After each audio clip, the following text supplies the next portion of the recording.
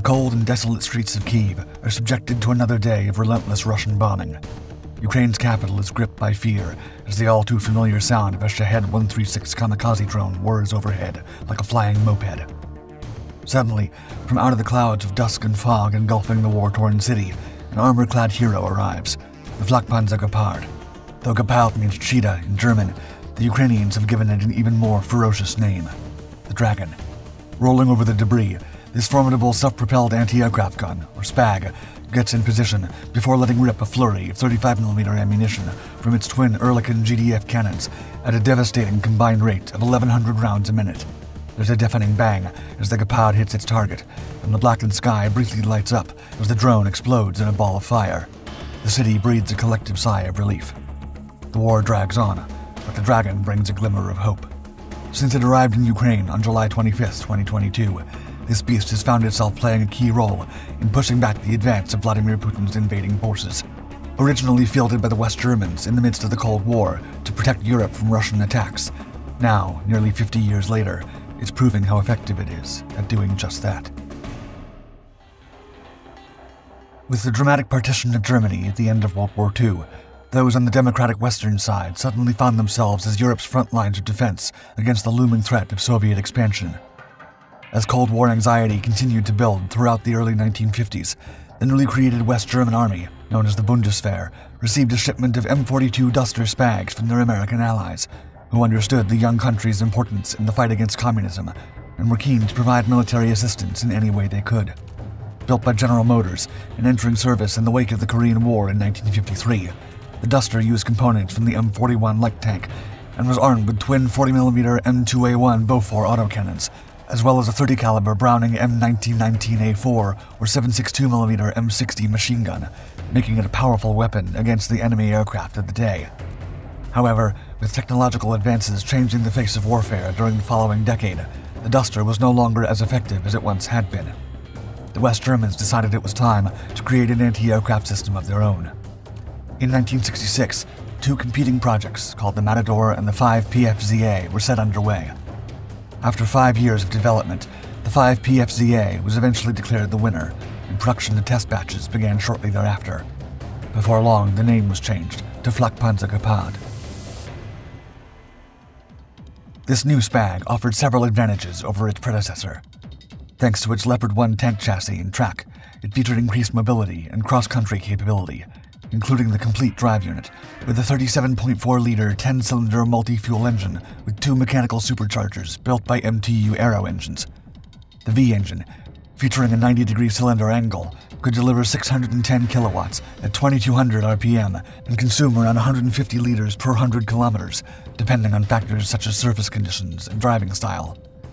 To ensure consistent oil supply, particularly in challenging terrain and extreme angles, the engine was equipped with a dry sump forced lubrication system, facilitating the use of the weapon system in rocky landscapes, thus making it more versatile in a range of environments. The Gepard also used the Leopard 1's exhaust system with fresh air admixture to reduce the infrared signature. The decision to use the Leopard 1 chassis meant the Gepard would have the edge on the battlefield by allowing it to keep up with armored formations more easily. When it came to firepower, the Gepard was also a step up from the Duster. Its two 35mm Oerlikon GDF autocannons were capable of pumping out up to 1,100 rounds a minute between them, a vast improvement over the 240 rounds a minute offered by the Duster's 40mm Bofors guns. What's more, boasting up to 90 degrees of elevation, the guns were equally adept at taking down enemy drones flying overhead as they were at engaging targets on the ground. Where the Duster had primarily relied on optical tracking systems, the Gepard was one of the first SPAAGs to feature a sophisticated, fully integrated radar and fire control system. The Siemens MPDR-12 S-band radar provided a 15-kilometer hemispherical detection range and significantly enhanced the Gepard's target acquisition and tracking capabilities, making it more effective in detecting and engaging aircraft and other aerial threats. The Gepard also represented an optimization of manpower. The Duster had needed a crew of four to six, but the new SPAAG required only three soldiers to operate it a commander to lead the unit into battle, a driver to carefully get it in position, and a gunner to unleash hell on the enemy.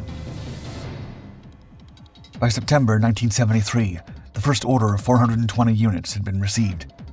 It was first deployed by the Bundeswehr in 1976, while the Belgian and Dutch armies also purchased units later in the same decade, with the Dutch version containing a Philips radar system with a bar-shaped search radar, offering a higher image resolution than the standard trough-shaped Siemens model found on the original West German version. Cold War relations gradually improved during the late 1960s and 70s due to both sides pursuing a policy known as détente, characterized by increased communication and a greater joint commitment to keeping the peace. This situation quickly changed after the Soviet Union invaded Afghanistan in 1979 leading to the United States boycott of the 1980 Olympic Games in Moscow. With tensions escalating further after the vehemently anti Soviet Ronald Reagan became US president later that year, the Cold War was once again at risk of heating up. Western European nations prepared their Gepards for battle, coupling them with man portable air defense systems, often abbreviated to MANPADS, such as the Redeye and the Stinger, capitalizing on their remarkable long range scanning capabilities. However, direct military confrontation was ultimately averted. With the collapse of the USSR in 1991 officially signaling the end of hostilities, it seemed the West German SPAAG would never be put to the test on the battlefield. With newer anti aircraft systems being developed, the Gepard was gradually retired from service in Europe.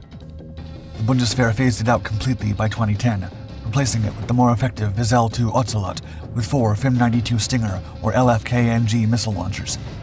No longer considered useful, the old Gepards were either sold off to developing countries such as Chile and Jordan or consigned to gather dust in storage. But it wouldn't be long before it was given a second lease on life in a new conflict casting a shadow over Europe. On February 24, 2022, Russia invaded neighboring Ukraine. By September of that same year, they had acquired and then replicated the Iranian Shahed 136 loitering munition, known as a kamikaze drone because it's typically loaded with explosives and sent crashing into its targets. The Russians were thrilled with the potential damage these weapons could cause to Ukrainian infrastructure, but they hadn't counted on their opponents having a new addition to their arsenal, too. The German government had recently given Ukraine a batch of Flakpanzer Gepards, repurchased from Qatar after previously selling them to the Middle Eastern nation in December 2020. The robust Cold War SPAAG's moment to show the Russians what it was made of had finally come. Although they were built around half a century earlier, the Gepard's simple design has turned out to be remarkably effective. With pinpoint accuracy, kamikaze drones and other low-flying missiles launched by the invading Russian forces are ruthlessly eliminated one by one in midair before they have a chance to get anywhere near their intended targets, as the Gepard creates an impenetrable shield over Ukrainian strategic positions. Seeing this fierce and relentless monster in action on the battlefield, it's little wonder the Ukrainians compare it to a fire-breathing dragon.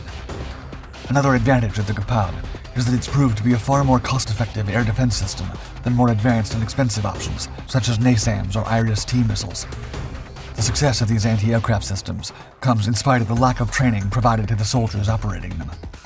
As the urgency of the situation has required the units to be rushed to the front line almost immediately, the Gepard's three-man crews have been receiving a mere two months of combat preparation, a much shorter period than the German standard of 18 months. Nevertheless, tales of their impressive achievements abound. One particularly notable example comes from the Odessa area, where one crew was reported to have taken out 10 Shahed drones and two cruise missiles in a single day. As the war rages on, the Gepard will likely continue to cause headaches for the Russians, as it audaciously scuppers their invasion plans one down drone at a time. Once seemingly consigned to the history books, the unlikely resurrection of this rugged Cold War fighting machine shows that it's far too soon to write it off just yet.